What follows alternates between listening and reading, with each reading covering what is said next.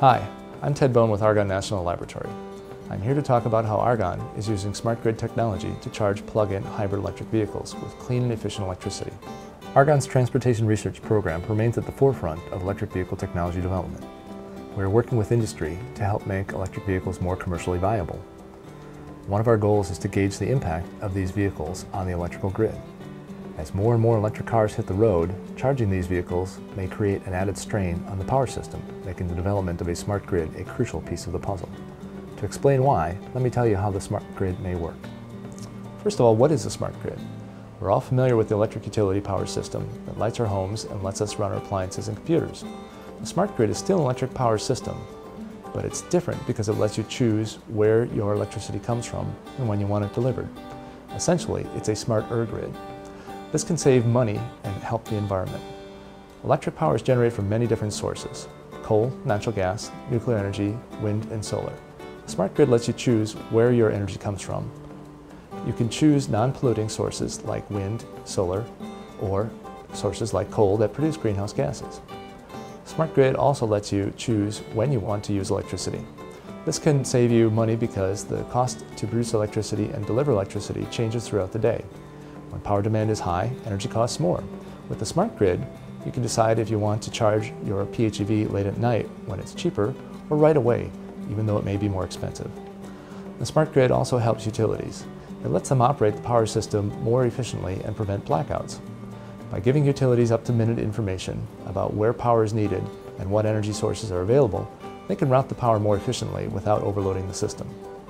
Without this information, utilities have to keep more power plants running than are really needed at any one time, just to be ready for unexpected changes in demand. Knowing where power is needed and what sources are available is particularly valuable as more renewable energy is added to the power system. That's because the output of many renewable energy sources can vary quickly, in a matter of minutes. The wind speed at a windmill may change or a cloud may pass over the solar electricity system. With smart grid technology, the utility has the information to respond immediately.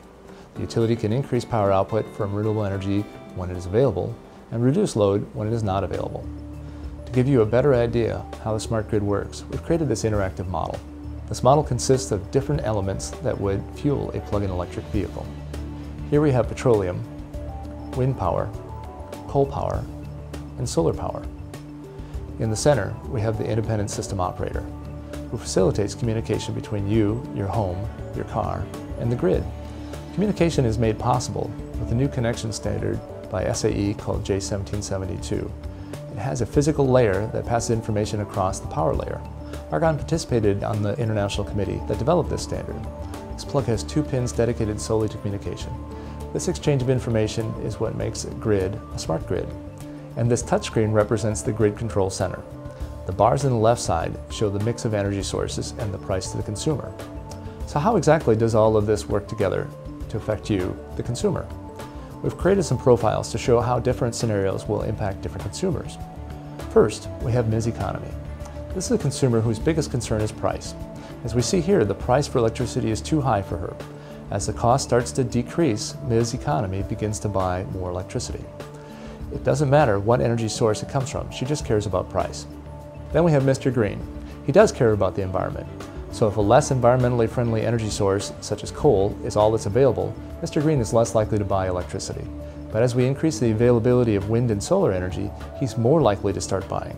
He's not sensitive to the price changes at all. Mr. Green is most concerned about minimizing his environmental footprint. And finally, have Mr. Money. This consumer has a corporate account, so he doesn't care about the price. He doesn't care about being green. Mr. Money just wants to be charged right now. He'll buy electricity at any price from any source, anytime. No matter what drives your buying decisions, the smart grid is really about helping you. The bottom line is that it helps utilities and customers to communicate faster so that you, the consumer, can control your costs and reduce your environmental impact.